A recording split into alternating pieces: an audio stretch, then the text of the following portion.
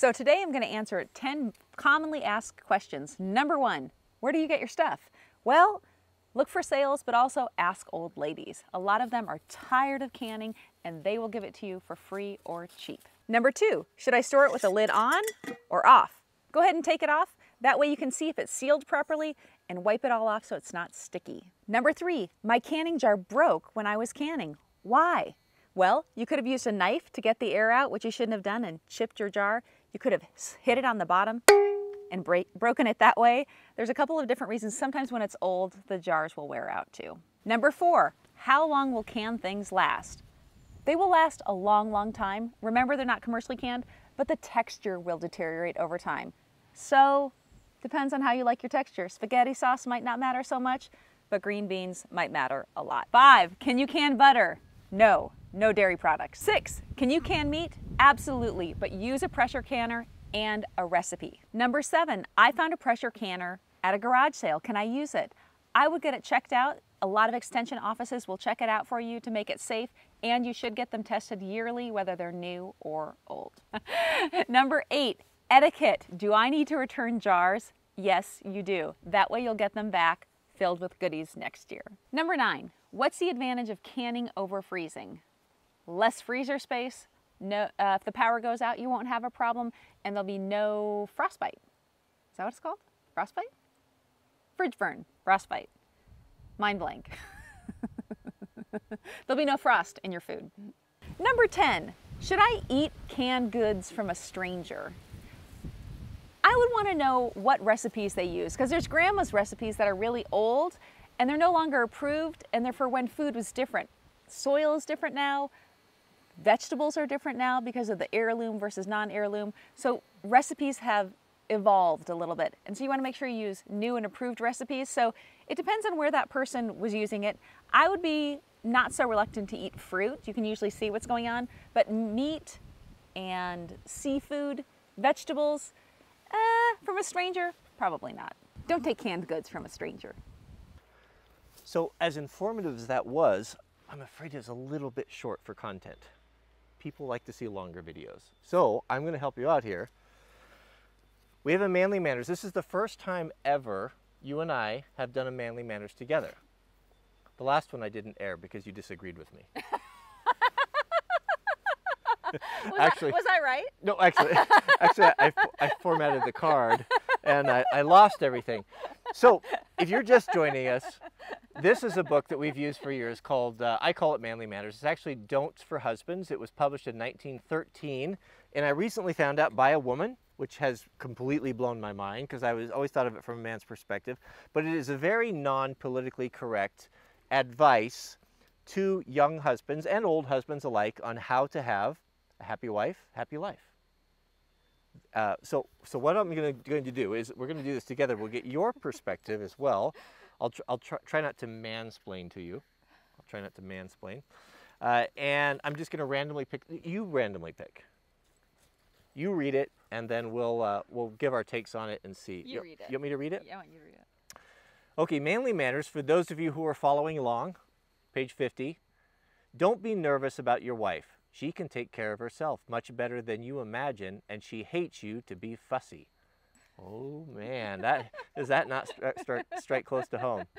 Uh, I'm going to go on. Don't settle down into an old married man while you are still in the prime of life. Take your wife out and about, give parties, visit your friends, and you will keep much younger than if you settle into the smoking jacket and slippers habit. Now this is funny because Cody has recently been saying, wouldn't it be wonderful to have a place where the men met and could have a cigar together and just hang out? I, you know, I am a big fan of, um, I'm a big Anglophile.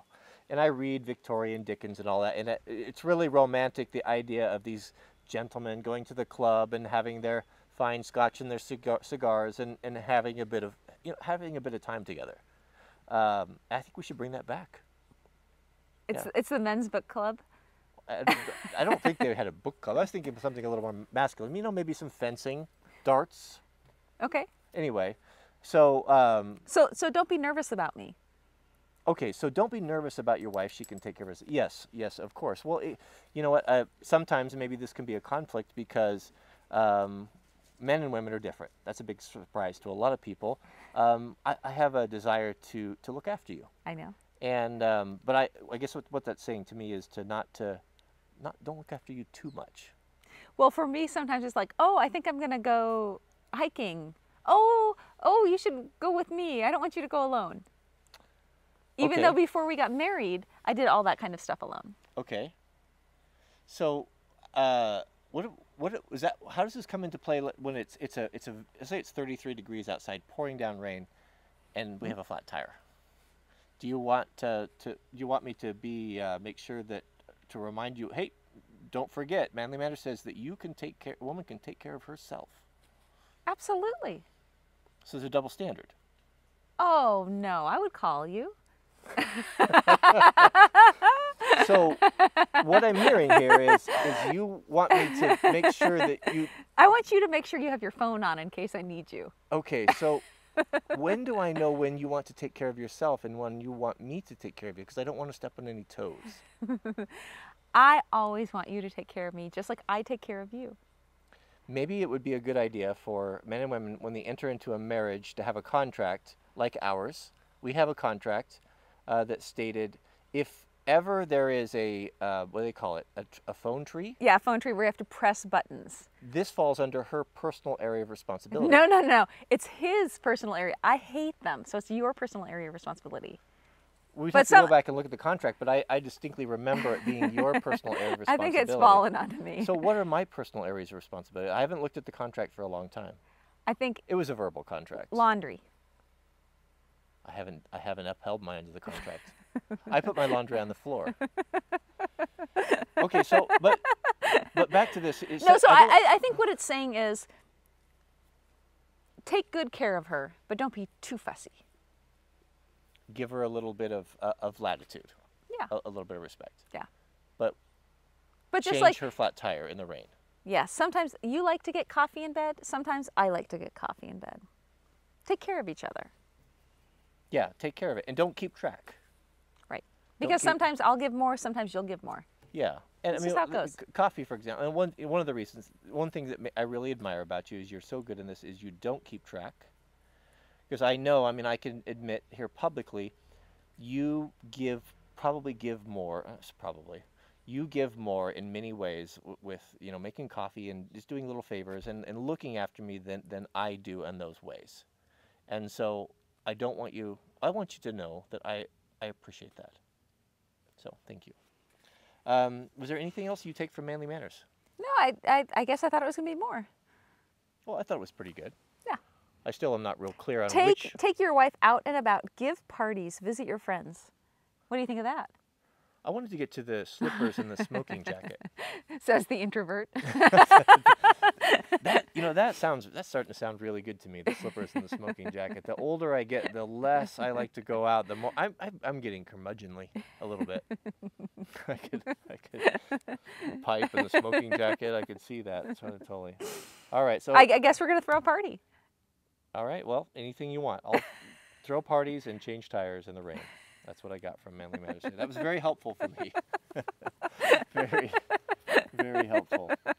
All right. Well, uh, you never know what you're going to get on the Wranglerstar channel. Uh, canning and common sense. How's that? CCS. Is that spelled with it? Yeah. yeah. All right. Thanks for watching. We'll see you guys on the next video.